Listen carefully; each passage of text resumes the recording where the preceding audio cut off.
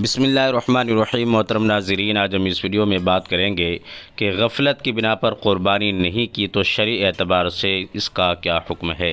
यानी क़ुरबानी के दिन गुजर गए और साहिब निसाब किसी गफलत की वजह से क़ुरबानी नहीं कर सका तो अब उसकी कीमत सदका करना चाहता है तो क्या वो बड़े जानवर के सातवें हिस्से की कीमत सदका करे या पूरे जानवर की कीमत सदका करना ज़रूरी है?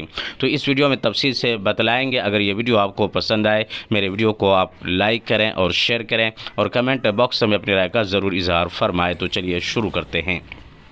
देखिए साहिब निसाब अगर किसी वजह से अयाम क़ुरबानी में, यानी क़ुरबानी के दिनों में क़ुरबानी ना कर सका हती कि अयाम क़ुरबानी, यानी क़ुरबानी के दिन गुज़र गए तो उस पर क़ुरबानी के लायक दरमियानी दर्जे की बकरी या बकरा की कीमत का सदका करना वाजिब है, यानी ज़रूरी है।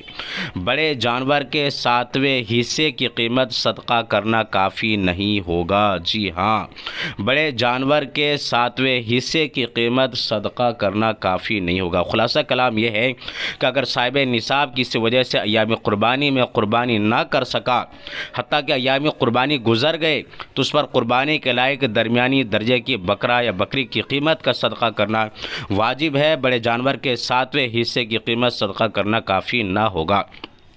तो मैंने इस वीडियो में तफसील से बतलाया है कि गफलत की बिना पर क़ुरबानी नहीं की, यहाँ तक कि क़ुरबानी के अयाम गुजर गए तो शरी एतबार से इसका क्या हुक्म है?